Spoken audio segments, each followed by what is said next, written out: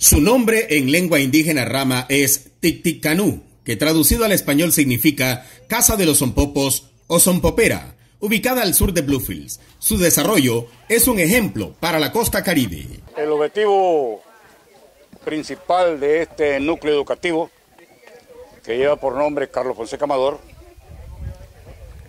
es abonar a favor de lograr disminuir la pobreza en nuestro país, tal como lo ha ordenado nuestro gobierno, Daniel y Rosario. Aquí la universidad, aquí la escuela de computación, aquí la escuela campesina Sebas Parra. En estas montañas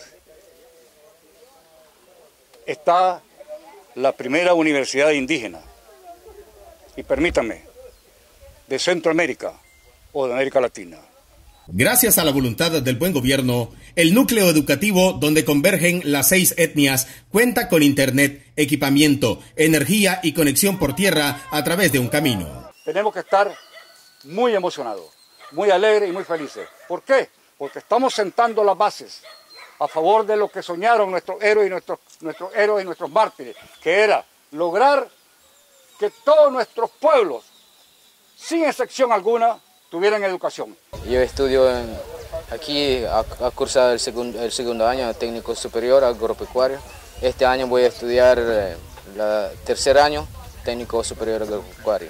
Nos enseñaron desde Word, PowerPoint, Excel, todas, todas, todas esas cosas, cómo se utilizan, cómo se guardan carpetas, cómo se eliminan. Yo he aprendido de Word, de la computadora, cómo se llaman los, los objetos, de las aplicaciones.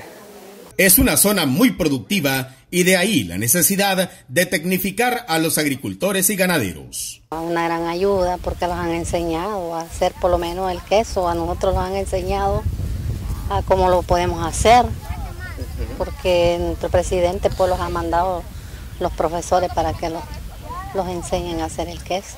También se cuenta con los servicios de salud a través de numerosas brigadas en la coordinación de AECFA, Gobierno Regional, EPN y demás instituciones. Pero gracias a Dios, ¿verdad? Y, al gobierno que nos ha apoyado bastante. Los profesores Pineda, la maestra Evelyn, todavía, ellos han estado siempre en primer lugar. Ellos se mueven para darme mi transporte y allá me dan comida y gracias a Dios pues no gasto en eso. Esto es solo con un gobierno regional y nacional del FSLN. Desde el Caribe Sur, con cámara de Manuel Espinosa, el reporte de Erwin Espinosa, lo que se vive. ¡Viva los campesinos! ¡Viva la escuela campesina! ¡Viva la universidad! ¡Viva, viva, viva!